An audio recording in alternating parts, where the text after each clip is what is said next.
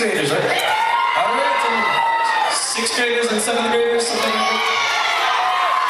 Everyone just cheer, just everyone cheer. Yeah, very good.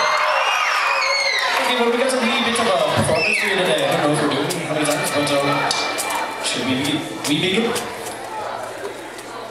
Since the beginning of time, there was the Irish. The Irish were a peaceful folk. Until one day, out from the clutches rose the evil. The evil rose up, no one knew where they came from. Maybe to their backs or something like that. But anyways, all of a sudden they attacked. This was not good.